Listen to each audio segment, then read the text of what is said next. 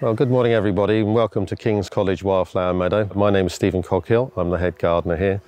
This is the, the meadow's second year of asking and here we can see uh, thousands of oxeye daisies, thousands of corn chamomile, a sprinkling of poppy, cornflowers, uh, which produces a very rich biodiverse sward that uh, the college is very excited about.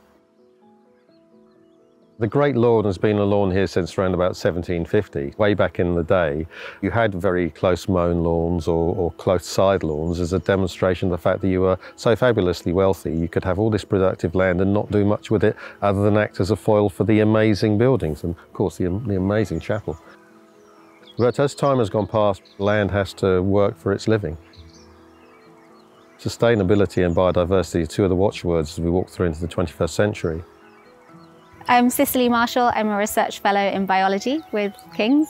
I'm a botanist and ecologist and uh, my role with the Meadow has been to coordinate a biodiversity monitoring survey.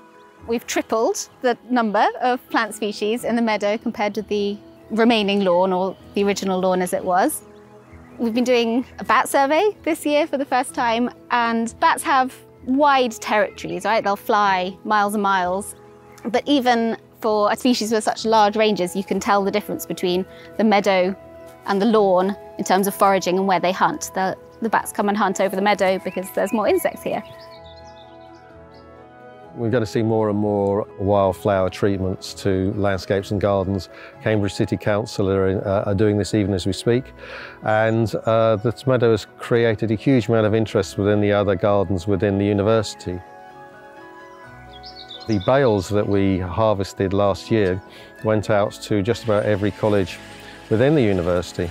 Jesus College, the head gardener there, Paul, actually took a Henry Hoover to his bale and extracted about a, a kilogram and a half of wildflower seed, which now forms their meadow. It's a good news story that uh, you know, feeds on itself.